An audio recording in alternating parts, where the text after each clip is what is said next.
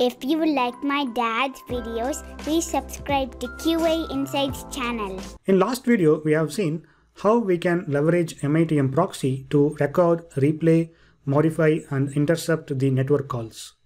In this video, we are going to leverage MITM web to capture and replay and modify and intercept the HTTP requests from the browser.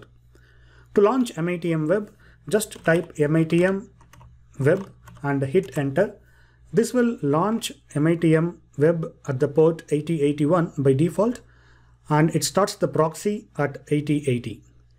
Once it is successfully started, it will launch automatically using your uh, default browser and then you can see the user interface of MITM web. Before you start begin recording, you have to install the relevant certificates. To install the relevant certificates, you can click on this MITM proxy menu and click on install certificates. Also, you can uh, edit some of the default options by clicking on the options and edit options. This particular option is under uh, alpha stage, so some of the configurations might not work. And uh, you can uh, explore by yourself to how you can uh, customize the user interface. So here, this is the main uh, IDE which will be working. So here it will display all the flows and you can intercept the request. You can search for the request and also you can highlight it. And at the bottom right, you can see the proxy, the port number and also the version. So now let us uh, capture the network calls by recording the pet store. And before that, uh, let us uh, install the certificates.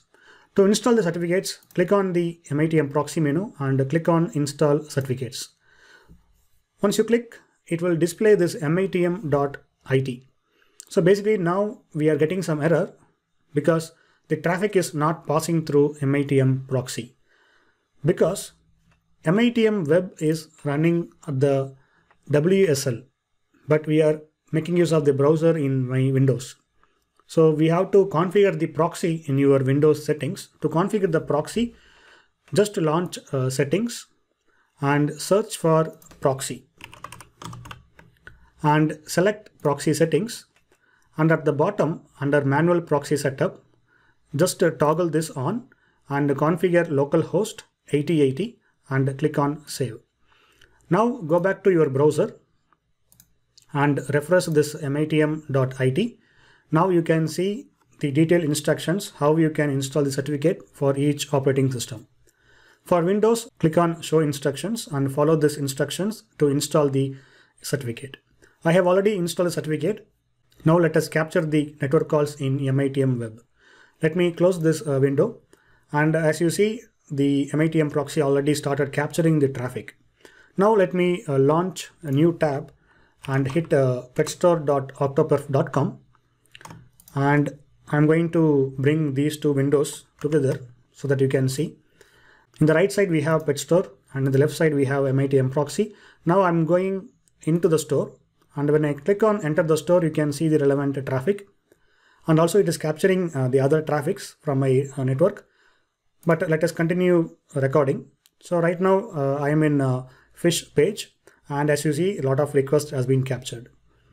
So this is kind of annoying for us because we don't want to capture this uh, ever helper or uh, content uh, autofill google api calls. So these are all things we don't want. So we have to tell explicitly mitm proxy whether you want to Uh, exclude uh, this call or you want to include this call.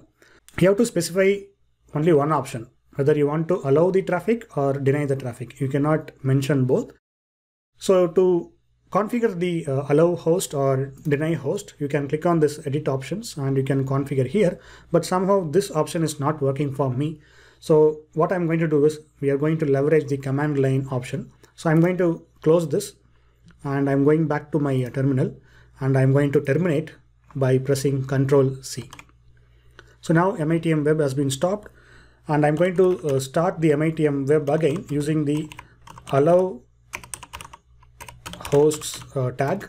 And in single quotes I'm going to enter petstore uh, dot so we have to escape this dot using the slash and now I'm going to hit enter so now this will allow only the petstore.octoperf.com traffic rest of the traffic will be ignored by MITM uh, web.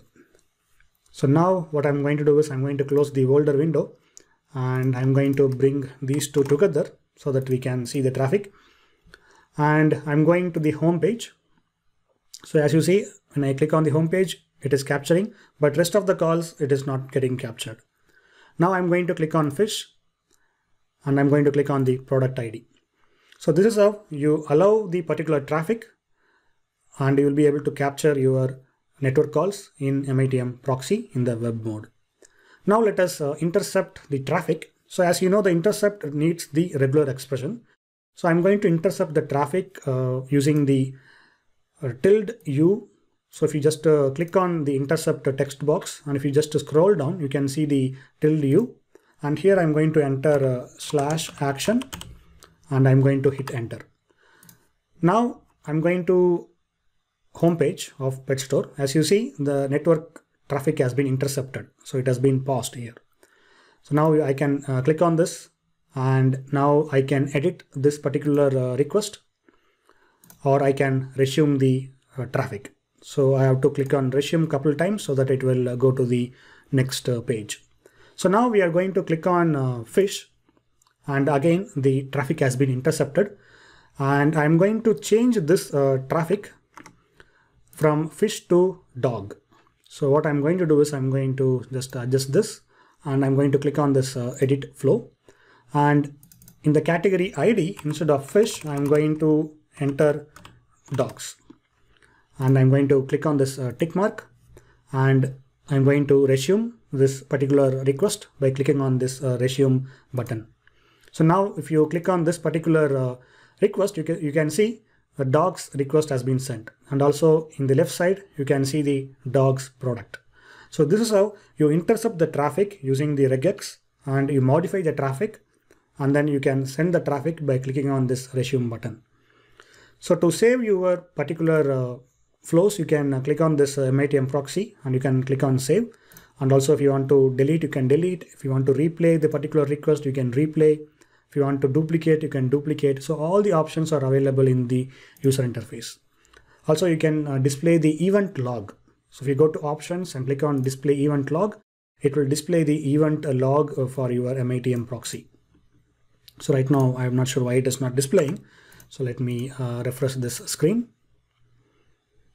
And here you can see the event log at the bottom of the screen. And here you can uh, configure the options uh, like debug, info, web, warning and error. And also you can highlight the certain pattern in your uh, traffic. So to highlight the uh, traffic, uh, just uh, select this highlight and go to the re regular expression for the URL and you can just type fish. So here you can see it is highlighting all the uh, URL which has the keyword uh, fish. So this is how you highlight, you intercept, modify, capture and replay the HTTP traffic in MITM web. So that's it guys on my side. If you have any questions, please let me know in the comments and thanks for watching. Have a good day. If you like my dad's videos, please subscribe to QA Insights channel.